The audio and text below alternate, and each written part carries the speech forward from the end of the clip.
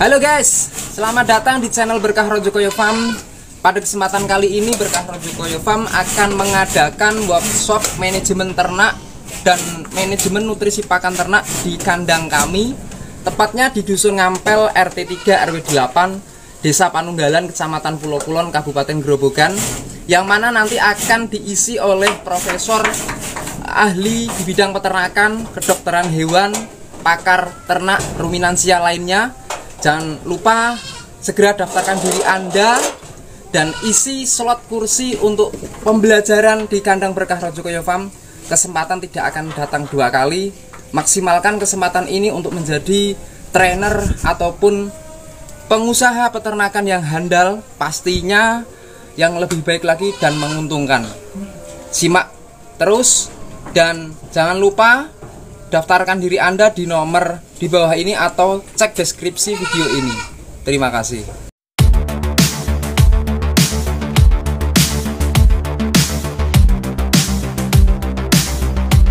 Assalamualaikum warahmatullahi wabarakatuh Sahabat, teman-teman semuanya Di mana pun Anda berada Pada kesempatan siang hari ini eh, Kang Mus akan berbagi eh, pengalaman Khususnya di usaha peternakan kambing yang ada di belakang kami ini dengan hasil persilangan antara Dere Jawa Randu dengan Crossbur F4 dengan menghasilkan satu cempe berkualitas dengan berat badan lah saat lahir 4 kilo 3 on.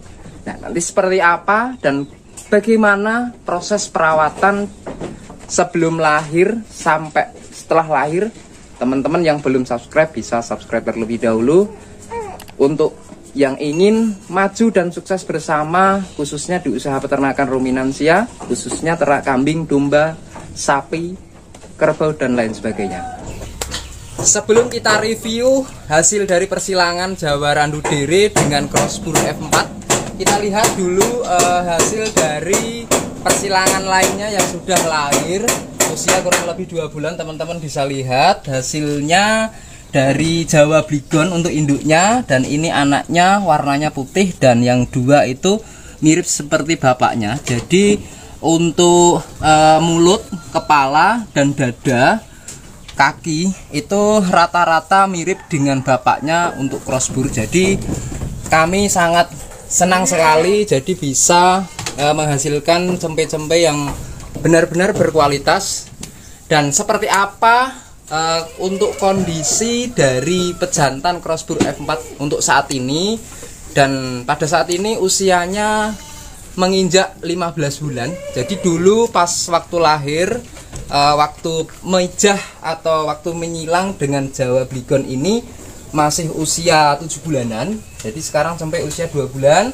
Dan sekarang uh, yang lahir dengan berat 4 kilo 3 on dulu waktu nyilang usianya 9 bulan jadi masih muda tapi Alhamdulillah bisa menghasilkan sampai yang berkualitas dan kita sangat bersyukur dengan hasil pencapaian yang seperti itu. Mari kita lihat untuk Arjuna atau pejantan di kandang berkah Rojo Farm saat ini seperti apa.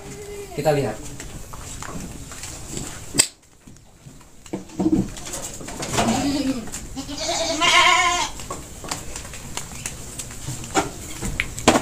Jadi ini untuk uh, kondisi saat ini pejantan di kami uh, saya namakan Arjuna.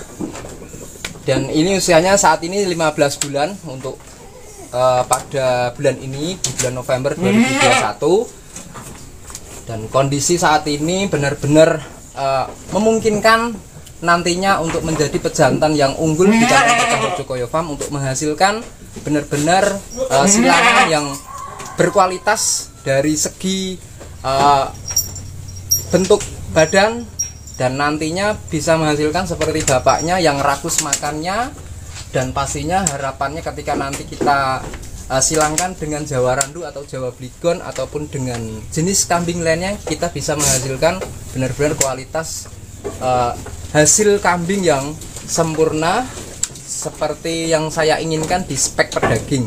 Dan nanti akan kita lihat dan kita sampaikan ke teman-teman semuanya seperti apa perawatan dan uh, sebelum lahir dan setelah lahir. Nah, kita lihat bersama-sama untuk indukan yang lahir di posisi kandang di sebelah sana uh, untuk bisa kita perlihatkan.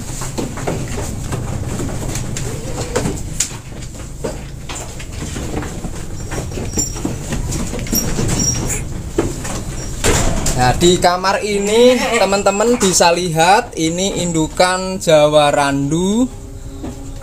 Uh, bisa kelihatan induknya. Nah, itu untuk induknya dan sebelah sana itu untuk anaknya lahir uh, dengan berat badan 4 kilo 3 on.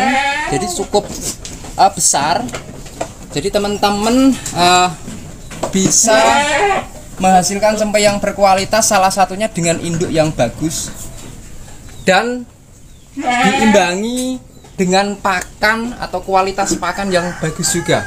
Ketika lahir alhamdulillah normal uh, langsung keluar dengan sendirinya dan apa sedikit kami membantu karena posisi uh, sempe sangat besar sekali menurut kami karena baru pertama kali ini kami mendapatkan sempe dengan berat badan 4 kilo 3 on. Jadi prosesnya dengan pakan uh, apa? Pakan komplit fermentasi dengan perbandingan uh, konsentrat PK13 saya pakai 40% dan seratnya kami memakai 60% dan alhamdulillah menghasilkan uh, cempe yang berkualitas bagus dan ketika uh, masa bunting tua kami tambahkan konsentrat yang kami racik sendiri dan kami sajikan sebelum pakan komplit hanya sebatas untuk menambah uh, kebutuhan nutrisi induk. Ketika usia kebuntingan ketika diri saya kasihkan satu bulan sebelum lahir. Jadi masuk usia enam bulan awal jadi saya kasihkan. Selama kurang lebih satu bulan dan alhamdulillah ketika lahir energi cukup. Sebelum lahir pun juga sehat dan setelah lahir pun juga juga sehat. Itu yang uh, kami uh, sajikan setiap harinya untuk uh, kambing saya sebelum lahir satu bulannya kami tambahkan karena untuk konsentrat sendiri di PK 13 itu menurut kami juga cukup tapi untuk lebih baiknya kita bisa menambahkan walaupun nggak banyak. Kurang lebih per hari uh, per ekor kita kasihkan 2 on per harinya. Jadi kita tambahkan lagi selama satu bulan.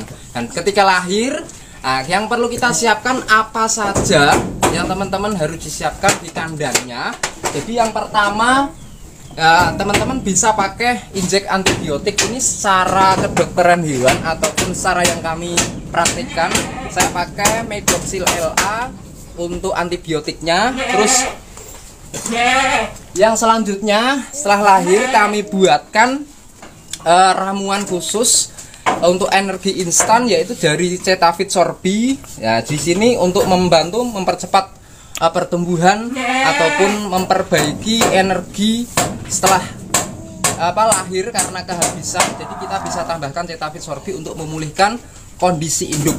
Jadi setelah lahir kondisi normal jeda satu jam plasenta atau ari-ari juga keluar dengan sendirinya. Jadi kami uh, tidak menunggu terlalu lama. Ini juga bisa menambahkan nafsu makan dan lain sebagainya. Nah, kita booster sebagai recovery untuk memacu metabolisme ternak, bisa juga meningkatkan daya tahan tubuh ternak. Dan juga satu lagi uh, tambahan uh, ketika kita sajikan uh, pakan komplit kita bisa tambahkan uh, kombor in. Nah ini untuk kombor in sendiri. Salah satunya bisa untuk menambah uh, hasil susu untuk induknya. Walaupun di pakan komplit juga sudah kami sajikan untuk premix feed base tapi setelah lahir juga kami tambahkan lagi uh, untuk kombor in ini. Jadi manfaatnya mencegah negatif energi balance. Jadi ketika induk lepas lahir jadi butuh energi tambahan lagi dan kita bisa juga pakai kombor in ini untuk mencegah negatif yang uh, jahat khususnya ya itu ketika nanti takutnya ternak ngedrop ataupun lain sebagainya. Terus yang selanjutnya bisa juga meningkatkan imunitas menjaga pH rumen itu sangat penting. Terus mencegah dehidrasi ya. Itu sangat penting juga. Terus menjaga kadar kalsium tinggi, menambah asupan energi, meningkatkan kecernaan dan lain sebagainya. Jadi pentingnya kita merawat peternak lepas lahir untuk nantinya menghasilkan susu kebutuhan induk dan kebutuhan cempe dan lain sebagainya. Itu cerita singkat dari kami ketika kami mendapatkan uh, hasil breeding atau hasil cempe yang berkualitas baik. Jadi cukup mudah dan buat teman-teman yang masih ragu dengan pakan komplit fermentasi atau pakan fermentasi atau pakan silase, buktikan terlebih dahulu jangan beranggapan pakan fermentasi atau sistem pengawetan pakan itu jelek. Tapi belajar keilmuan terlebih dahulu, praktekkan banyak pengalaman untuk kita mendapatkan di dalam usaha peternakan. Untuk itu tanamkan kepada diri teman-teman semuanya, jangan pernah menyerah sebelum kita tempur atau kita praktekkan. Itu yang bisa kami sampaikan untuk teman-teman semuanya. Satu hal untuk teman-teman siapkan kondisi kandang yang sehat, pakan yang sehat untuk usaha peternakan yang lebih baik lagi. Bagi teman-teman yang belum subscribe bisa subscribe terlebih dahulu. Salam dari peternak kecil Kabupaten Grobogan, Jawa Tengah. Dari kami Kang Mus atau Berkah Rojo Koyova mengucapkan terima kasih yang sudah menonton video sampai akhir. Kami ucapkan wassalamualaikum warahmatullahi wabarakatuh.